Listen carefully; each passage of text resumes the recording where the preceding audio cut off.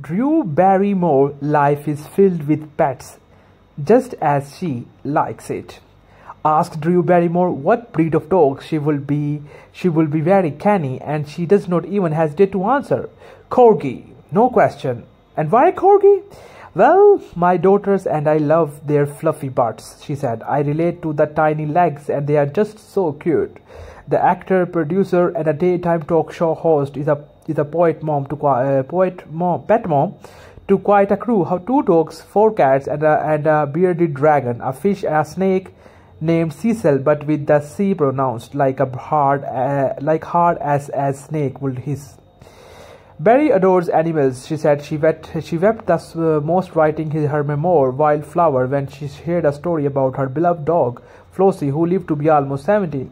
So it's so it made sense for Barrymore to partner with Ring for new campaign announced Monday.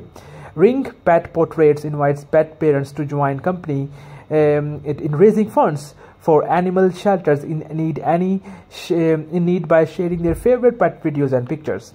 When people share a pet video or photo post on Instagram or TikTok using hashtag ringpets through June 14, Ring will make a donation to support ASPCA and local animal shelters across the USA.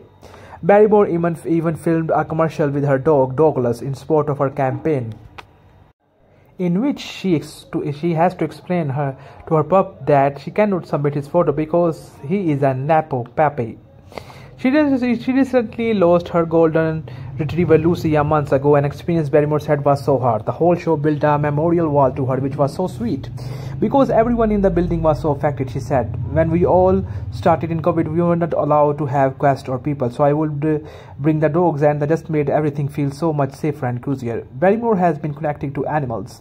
Since the beginning, she began her acting career as an infant and her first commercial was for Purina Chew when she was a toddler. As, as a young adult, she, she shared her home with cats and now, as a 49-year-old mother of two young daughters, her pets are a big part of the family there is just like there is just this like unspoken relationship that you have with this connection this constant companion and this love and that is just so profound where Barry said, My dogs sleep in my bed with me and do and so do my cats and it makes me feel like a human a whole human being. It's funny because I want to sleep with my friends, she added. I'm weird about sharing a bed, but with my kids and animals I like I'm like, come on, let's just do this. She joked that she could have used a ring camera on a set as Lucy loved to wander around the her daytime talk, uh, talk show. We use cameras to watch babies. I certainly had many, many baby monitors, she said. Uh, but uh, she said, so this guys is all in this video. I hope you guys really like and it's, uh, get to subscribe.